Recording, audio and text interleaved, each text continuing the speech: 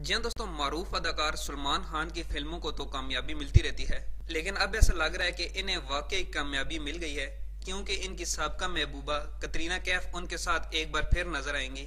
तफसीलात के मुताबिक बॉलीवुड स्टार सलमान खान और कतरीना कैफ के दरमियान इश्क माशूकी का एतराफ खुद सलमान खान ने भी किया था, जबकि अलहदगी के बाद दबंग खान ने कतरीना कैफ के साथ न सिर्फ़ फ़िल्मों, बल्कि इश्तेहारात में भी काम करने से साफ़ साफ़ इनकार कर दिया।